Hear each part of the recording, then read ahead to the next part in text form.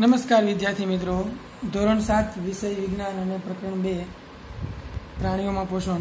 તો આપણે નાના આંતરડા વિશે માહિતી મેળવી લીધી. હવે જે ખોરાક અપાચિત છે, જે વણ શોષાયેલો છે, જે શોષાયેલો નથી, તે ખોરાક ક્યાં જાય છે વિદ્યાર્થી મિત્રો? મોટા આંતરડામાં જાય છે. તો મોટા આંતરડું, મોટું આંતરડું એ નાના આંતરડા કરતાં પહોળું છે.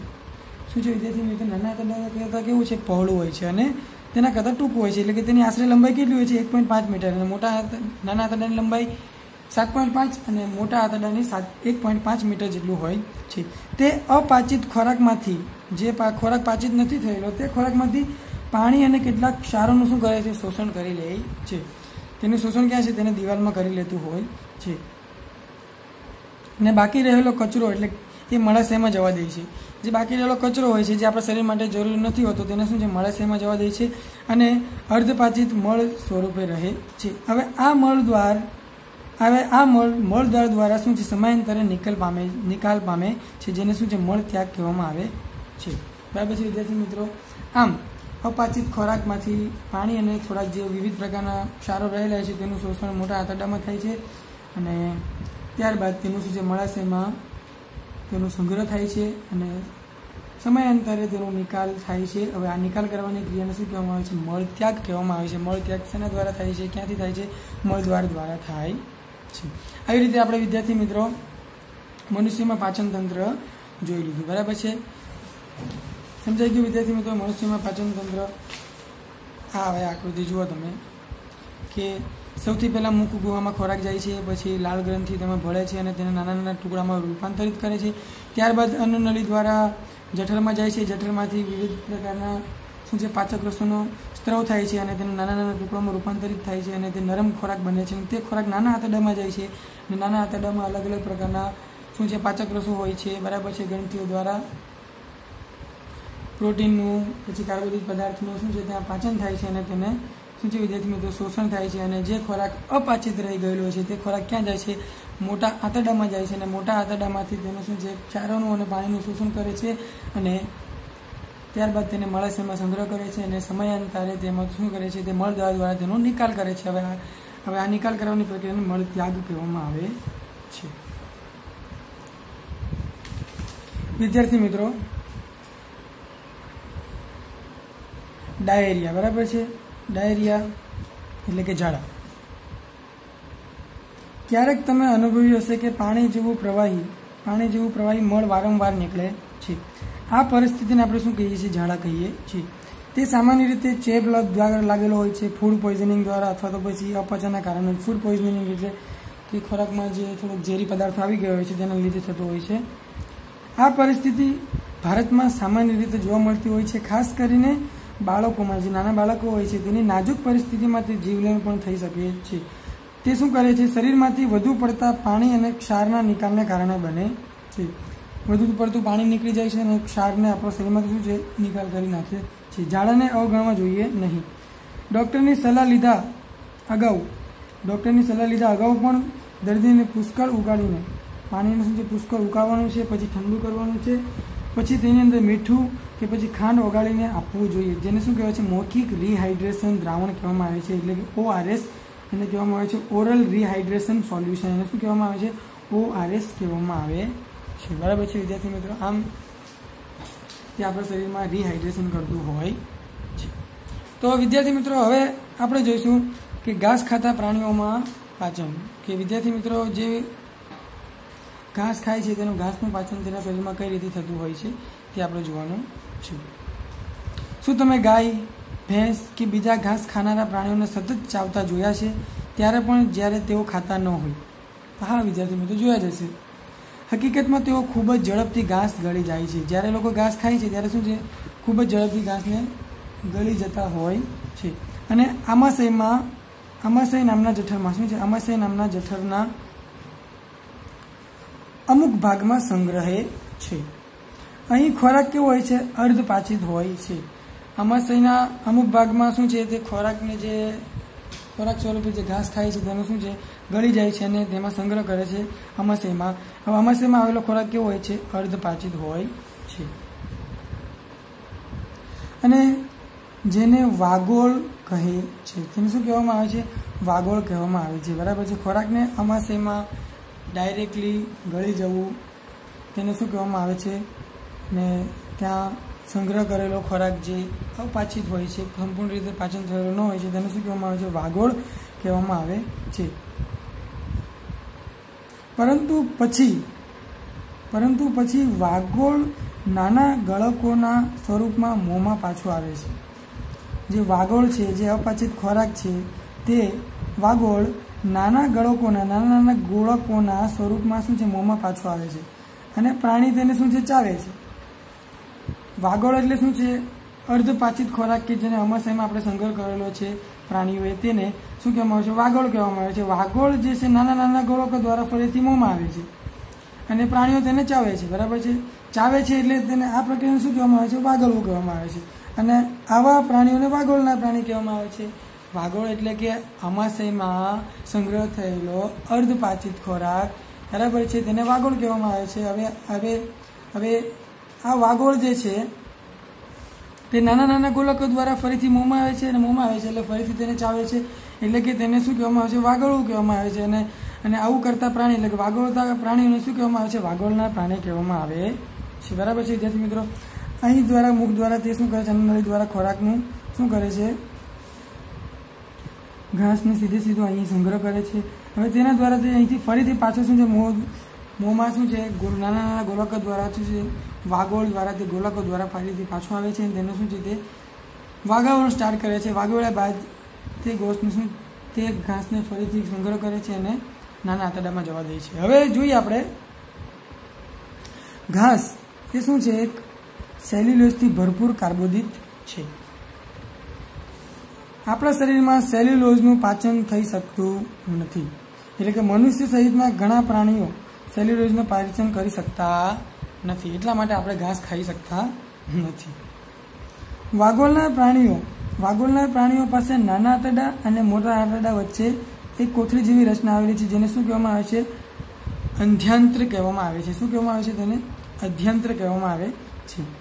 અહીં સેલ્યુલોઝનું પાચન કેટલાક બેક્ટેરિયા દ્વારા થાય છે જે મનુષ્યમાં આવેલા હોતા બરાબર છે? મનુષ્યમાં શું નથી આવેલું? વિદ્યાર્થી મિત્રો આધ્યાંત્ર આવેલું હોતું નથી. જે શું હોય છે? નાના આંતરડા અને મોટા આંતરડા વચ્ચે એક કોથળી જેવી રચના હોય છે કે જે મનુષ્યમાં આવેલો અને આવેલું હોતું નથી. તે શું કરે છે? સેલ્યુલોઝનું પાચન કરે છે. આવી રચના મનુષ્યમાં આવેલી હોતી નથી. એટલા માટે આપણે ઘાસનું પાચન કરી શકતા નથી. એટલે કે સેલ્યુલોઝનું પાચન કરી શકતા નથી. તમે ઘણા પ્રાણીઓ જે પાચનતંત્ર ધરાવે છે, તેના વિશે અભ્યાસ કર્યો છે. પરંતુ ઘણા નાના સજીવો છે કે જે મુખ દ્વારા પાચન ધરાવતા નથી. મુખ દ્વારા શું છે? પાચનતંત્ર દ્વારા ધરાવતા નથી. મુખ કે પાચનતંત્ર કશું ધરાવતા નથી. તો પછી તે કેવી રીતે ખોરાક મેળવે છે અને પાચન કરે છે? તો હવે પછીના વિભાગમાં આપણે જોઈશું કે વિદ્યાર્થી મિત્રો અન્ય રસપ્રદ પદ્ધતિઓ વિશે જોઈશું કે અમીબા. અમીબા જે છે તે ખોરાકનું પાચન અને ગ્રહણ કઈ રીતે કરે છે તે આપણે જોવાનું છે. વિદ્યાર્થી મિત્રો, અમીબા જે છે, ખોરાકનું ગ્રહણ અને પાચન કઈ રીતે કરે છે તે આપણે જોવાનું છે.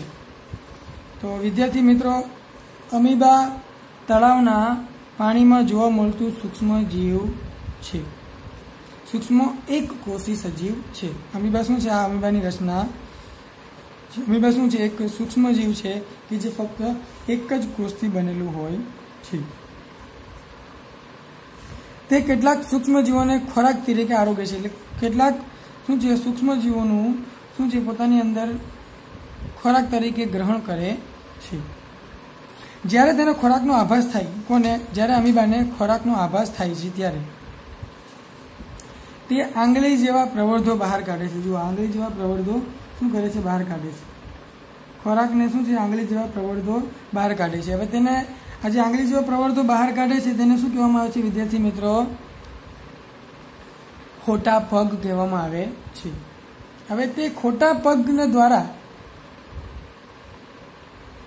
ખોરાકની ફરતે તેને શું છે? ફેલાઈ જાય છે. ખોટા પગ દ્વારા શું છે? ખોરાકની ફરતે ફેલાઈ જાય છે.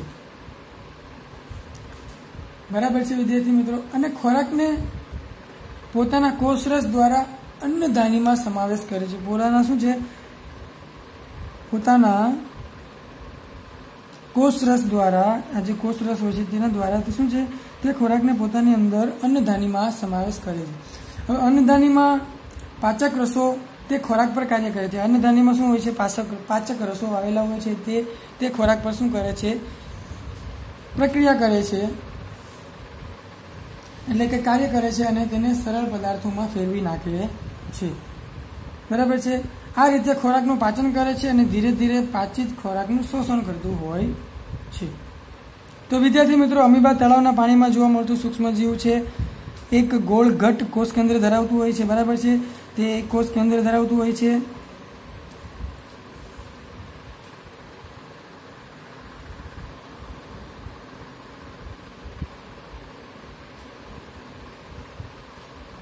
અમીબા સતત તેનો આકાર અને સ્થાન બદલતું રહે છે. એક અથવા વધુ આંગળીઓ જેવા પ્રવર્તો બહાર કાઢીને તે ખોટા પગ કાઢે છે અને તેના હલનચલન દ્વારા ખોરાકને પકડવામાં મદદ કરે છે. અમીબા કેટલાક સૂક્ષ્મજીવોને ખાય છે. જ્યારે તેને ખોરાકનો અભાસ થાય છે, ત્યારે તે ખોટા પગને ખોરાકની ફરતે ફેલાવી નાખે છે અને ખોરાકને ગળી જાય ગળી જાય છે. આ રીતે ખોરાક અન્નધાનીમાં ફસાઈ જાય છે અને અન્નધાનીમાં પાચક રસો ઠલવાય છે. તે ખોરાક પર કાર્ય કરે છે અને સરળ પદાર્થોમાં રૂપાંતરણ કરે છે અને ધીરે ધીરે પાચિત ખોરાકનું તે શરીરમાં શોષણ કરે છે અને શોષિત ખોરાક વૃદ્ધિ, શરીર ટકાઈ રાખવા માટે કોષના બહુગુણન માટે વપરાય છે. આવી રીતે અમીબા પોતાની અંદર શું છે? પોષણ મેળવતું હોય છે. અપાચિત અને વધેલ ખોરાક, જે ખોરાકનો પાચન ન થયેલો હોય અને વધેલો ખોરાક હોય છે, તે રસધની દ્વારા શરીરમાંથી શું કરે છે? બહાર કાઢી નાખે છે. બરાબર છે વિદ્યાર્થી મિત્રો?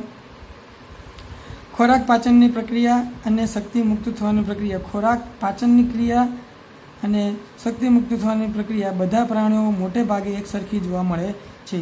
આ પછીના પ્રકરણમાં તમે નાના આંતરડામાં શોષાયેલા ખોરાકનું શરીરના વિવિધ ભાગો તરફના વહન વિશે અભ્યાસ કરીશું. બરાબર છે, વિદ્યાર્થી મિત્રો? આવી રીતે આપણે નાના આંતરડા સુધી ખોરાકનું પાચન આપણે સમજી ગયા છીએ તો આપણે શું શીખ્યા? કે પ્રાણીઓમાં પોષણ, પોષક તત્વોની જરૂરિયાત ખોરાક ગ્રહણ કરવાની પદ્ધતિ અને શરીરમાં તેમનો વપરાશ સમાવેશ કરે છે. આટલી વસ્તુઓનો સમાવેશ થાય છે. પોષક તત્વોની જરૂરિયાત ખોરાક ગ્રહણ કરવાની પદ્ધતિ અને શરીરમાં તેનો વપરાશ આટલી વસ્તુઓનો સમાવેશ થાય છે. પાચન તંત્ર એ પાચન નળી અને સ્ત્રાવી ગ્રંથિઓ ધરાવે છે. બરાબર છે? એટલે કે ગ્રંથિઓ અને પાચન નળી. પાચન તંત્ર ધરાવે છે. કે જેમાં મુખ ગુહા, અન્નનળી, જઠર, નાનું આંતરડું, મોટું આંતરડું અને મળદ્વારનો સમાવેશ થાય છે અને પાચક ગ્રંથિઓમાં પાચક રસનો સ્ત્રાવ થાય છે, જેમાં લાળ ગ્રંથિ, યકૃત, સાદુપિંડ વગેરેનો સમાવેશ થાય છે અને જઠરની દિવાલ અને નાના આંતરડા પણ શું છે, પાચક રસનો સ્ત્રાવ કરતા હોય છે. જુદા જુદા પ્રાણીઓમાં ખોરાક ગ્રહણ કરવાની પદ્ધતિઓ પણ જુદી જુદી હોય છે.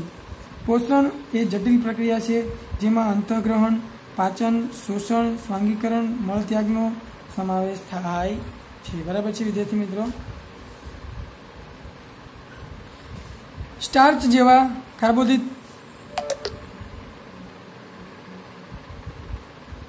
સ્ટાર્ચ જેવા કાર્બોદિત પદાર્થનું પાચન મુખ ગોમાં શરૂ થાય છે.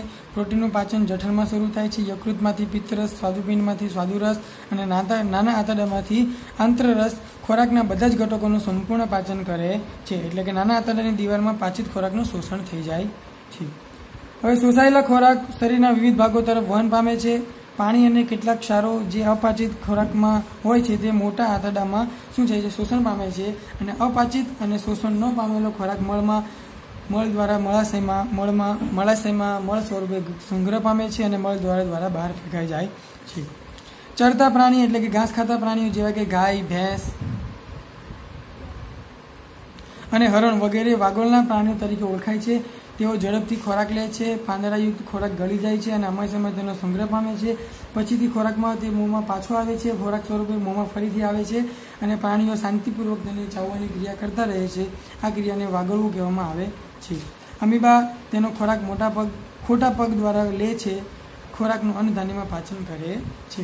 આટલું આપણે આ પ્રકરણમાં શીખ્યા છીએ.